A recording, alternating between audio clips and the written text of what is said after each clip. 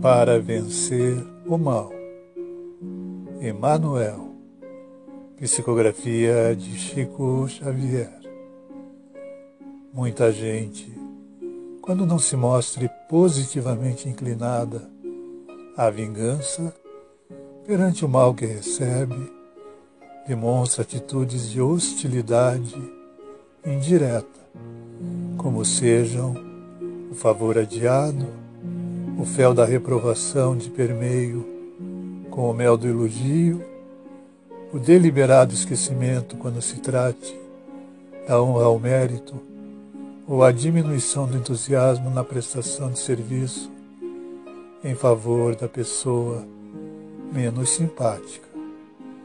Entretanto, para vencer o mal não basta essa meia bondade, peculiar a quantos se devotam à desculpa cortês, sem adesão do campo íntimo.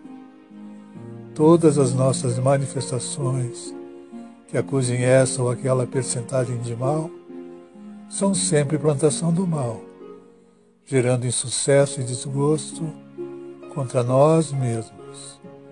O Evangelho é claro na fórmula apresentada para a extinção do flagelo, para que estejamos libertos da baba sinistra do antigo dragão que trava o progresso da humanidade, é indispensável guardemos paciência contra as suas investidas, procurando esquecê-lo, perdoá-lo e fazer-lhe o bem tanto quanto nos seja possível, porque o bem puro é a única força suscetível de desarmar-lhe as garras inconscientes.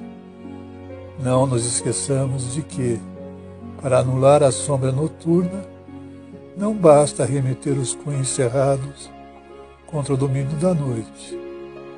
É preciso acender uma luz. Assim seja.